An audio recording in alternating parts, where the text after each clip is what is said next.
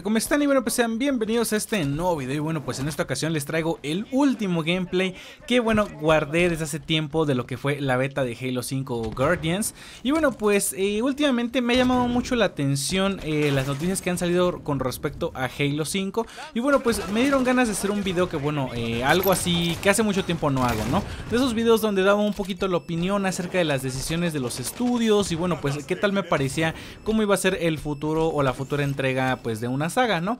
Entonces, esta vez me decidí por hacer algo con respecto a lo que es Halo 5. Sabemos que el juego ya está prácticamente a la vuelta de la esquina, poco tiempo le falta para su salida.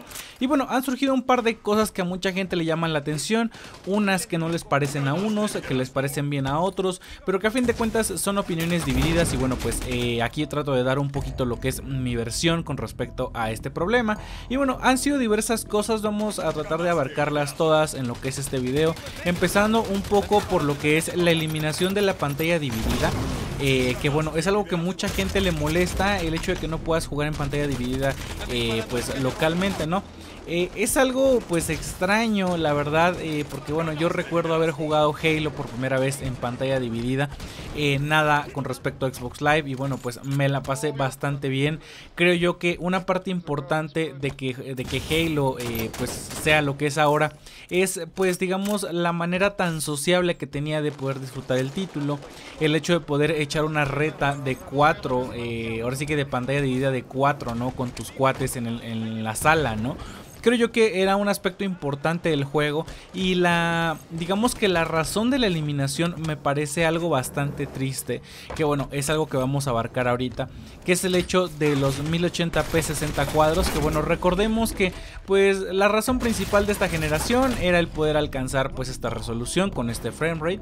Recordemos que bueno, los videos en YouTube ya funcionan a 60 cuadros como este que están viendo en este momento.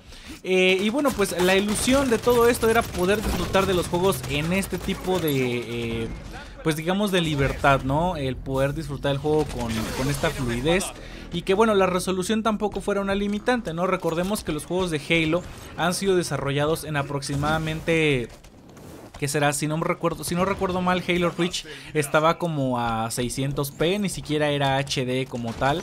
Entonces, eh, pues es como que algo importante, ¿no? O, lo tomaron como una cosa importante el hecho de que pudieran correr Halo a 1080 y 60 cuadros. Y esta fue la razón de la eliminación de la pantalla dividida, ¿no? El hecho de que ocupaba recursos del sistema y bueno, al eliminarla se iba a asegurar lo que era esta resolución y este frame rate. Sin embargo, poco después se informó que ni siquiera con esto se podía confirmar que se pudiera obtener tanto la resolución como el framerate. Recordemos que es más importante realmente obtener un framerate estable que una resolución. Eh, son problemas que ha presentado PlayStation 4.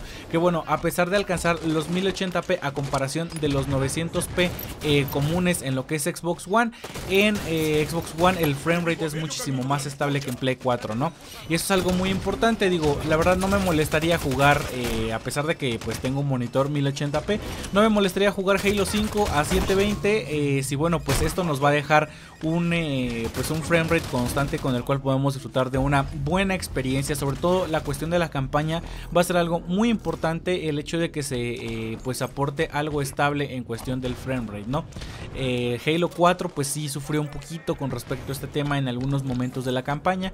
Entonces es importante que mantengan esta estabilidad. aparte de esto, bueno, pues creo yo que Halo 5 va a ser un paquete bastante completo a pesar de estas limitantes de carecer de lo que es la pantalla dividida. Eh, digo, son cosas que a veces pasan y bueno, los desarrolladores deciden por, las, por los aspectos pues más utilizados, ¿no? También podemos recordar el hecho de que bueno, Halo es un juego multiplayer prácticamente en todo su esplendor poca gente es la que se la pasa la campaña más de una vez. Digo, yo no soy de esas personas definitivamente.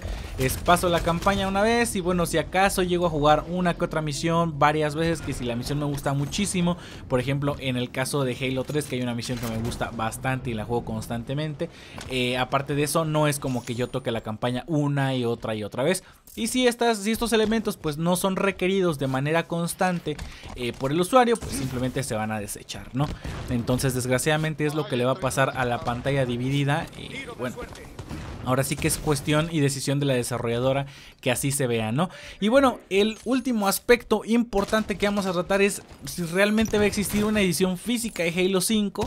Eh, hace poquito eh, pues vi la noticia con respecto de que la edición legendaria, la edición pues más especial, por así decirlo, de Halo 5 no tendría el juego físico, lo cual sí me sacó bastante de onda y dije, a ver, ¿what? O sea, ok, es bonito tener los detalles, el Steelbox tal vez si es que lo trae, alguna figurita, información extra, materiales, videos, música y demás. Pero creo que lo más importante es tener el maldito disco. O sea, yo creo que hay gente que sí sigue estando pues un poquito... Eh, pues, mm, ¿cómo mencionarlo? Queriendo quedarse en, las cosas físicas, ¿no? El hecho de poder contemplar sus juegos en el estante, que no es lo mismo que tenerlos en tu disco duro ahí guardaditos, ¿no? Entonces, se me hace un poco impresionante la decisión por parte de Microsoft del hecho de no poner una edición física, un, pues un disco como tal, en lo que es su edición legendaria de Halo 5, ¿no? Eh, uno se pone a pensar si la edición legendaria no trae el disco, ¿Qué nos hace pensar que bueno, la edición estándar, la edición limitada, no va a ser simplemente una caja con papeles y un código de activación para poder descargar Halo 5, ¿no? Eh, la verdad es que es un poco preocupante ese aspecto. La verdad espero yo que saquen información eh, pues desmintiendo esto, ¿no? y que digan, bueno, ¿saben que Si hay edición física, hace poquito también vi que estaban recibiendo feedback con respecto a lo que era pues la el hecho de que integraran solo un código en un juego, ¿no? Y que al final diga, bueno, ok, lo vamos a cambiar eh, y vamos a poner, eh, pues ahora sí que un disco, que es lo que la gente pide, ¿no? Porque si es un poco extraño que una edición de esa magnitud, bueno, pues no cuente con su, con su disco respectivamente, ¿no? A pesar de que muchos lo prefieran digital, pues creo que es importante eh, para los coleccionistas el hecho de tener este elemento, ¿no?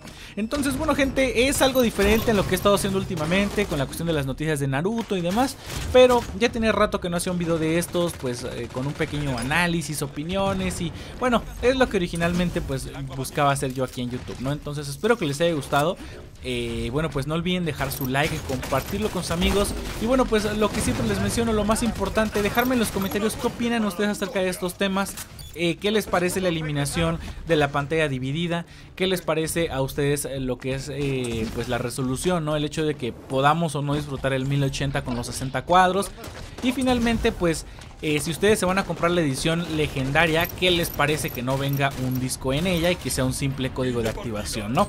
Entonces, bueno gente, pues yo aquí me despido, nos vemos la próxima y bye.